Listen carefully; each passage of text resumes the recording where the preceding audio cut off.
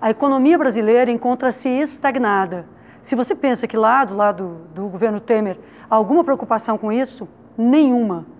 O desemprego cresceu em um ano, desde o golpe do impeachment, de 10 para 13 milhões de brasileiros e brasileiras que não encontram esperança.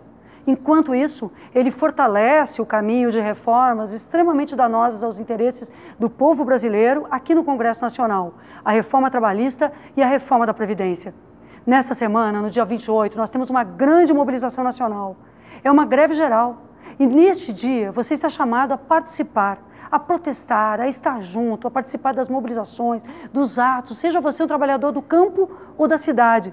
Sobretudo se você for uma mulher você tem muitos motivos para lutar contra a reforma da Previdência e a reforma trabalhista. Ao longo dessa semana aqui no Congresso Nacional, nós vamos estar mais uma vez resistindo a tudo isso. Contamos com seu apoio nessa resistência e a sua participação na greve geral.